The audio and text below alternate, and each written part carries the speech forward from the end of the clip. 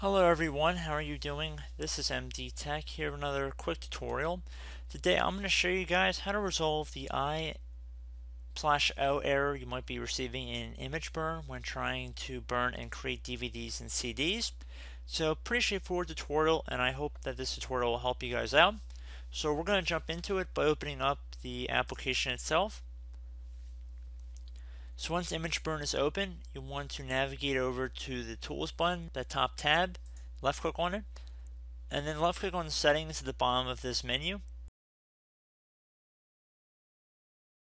Now you want to left click on the write tab.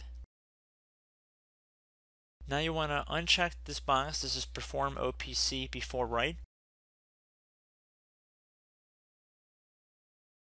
So you want to set the options over here underneath layer break. You want to say user specified. And for sectors in L0, you want to type in 19, 13, 76, 0. So 1913760. Once you're done doing that, you want to go up to the I slash O tab at the top. You want to navigate to page 2, so click on the page 2 tab, the mini tab right here. You want to move the buffer size right here. You want to move it to 72. You underneath main, you want to set that to 25. Underneath device, you want to set that to 50.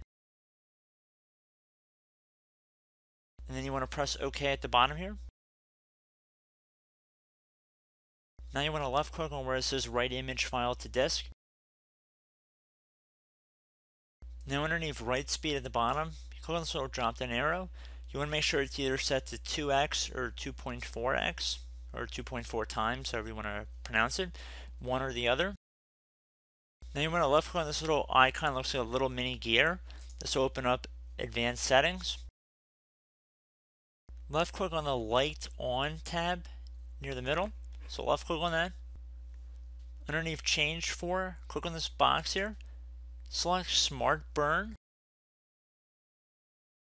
Then click on OK at the bottom. And then at this point you can close out of ImgBurn or reopen it and then you should be able to burn your disk as you normally should have been able to. So I hope this brief tutorial helped you guys out and I will catch you in the next video. Goodbye.